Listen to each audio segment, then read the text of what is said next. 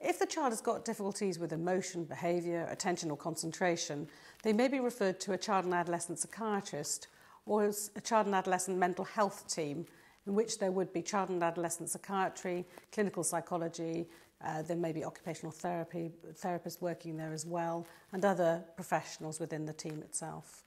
The child and adolescent psychiatrist is qualified to look at and assess for attention problems, emotional behavioural problems, can look at whether the child is having difficulties with conduct problems uh, or has obsessional compulsive traits, anxiety, or maybe depressed, or has eating disorders. So they cover quite a wide array of psychiatric disorders and then can advise and give guidance and, where appropriate, give medication.